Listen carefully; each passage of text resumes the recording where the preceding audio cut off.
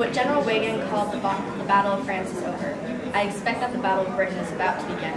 Upon this battle depends the survival of Christian civilization. Upon it depends our own British life and the long continuity of our institutions and our empire. The whole fury and might of the enemy must very soon be turned on us. Hitler knows that he will have to break us in this island or lose the war. If we stand up to him, all Europe may be free, and the life of the world may move forward into broad, sunlit uplands.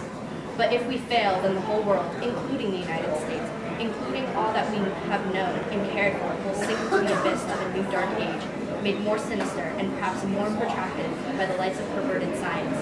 Let us therefore brace ourselves to our duties and so bear ourselves that if the British Empire and its Commonwealth last for a thousand years, men will say, this was their finest hour.